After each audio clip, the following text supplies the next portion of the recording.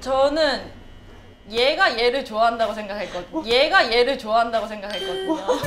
말도 안 되는 소리야. 그랬던 거 아니에요? 아니야. 그러니까 아니 그러니까 그때 말고 그 지금은 저희 다 엄청 친한 친구지만 범주가 교원이를 좋아하는 때가 있는 줄 알았어요. 근데 사실 아줌마도 중학교 때 고범주 이름을 제일 많이 들었어. 고범주, 고범주, 매일매일 고범주, 고범주 그래서 야, 우리 단순 친구입니다.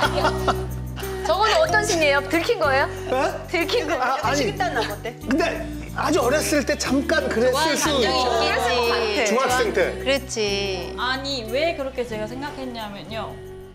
뒤에서 얘가 막 교원이를 막 챙기더라고요. 뒤에서 챙겨? 네, 그러니까 얘가? 뒤에서 챙긴다고? 멋진 놈인데? 아, 아, 아, 얘, 얘기해봐. 내가 얘기해 볼게. 어 멋진 놈인데 뒤에서 챙.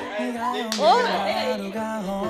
저 교원 따뜻하게 입고 다니게 해라. 뭐 이런 거 있잖아요. 진짜? 오 저거 오 어, 되게 멋있다. 따뜻하게 입고 다니게 해. 멋있다. 어. 야 심쿵인데 이거?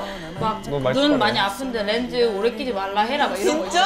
있잖아요. 난 금시초문인데. 나도 금시초문이야. 난 야 예빈이가 안 한 얘기를 하겠니 지금 했으니까 하는 제가- 거지.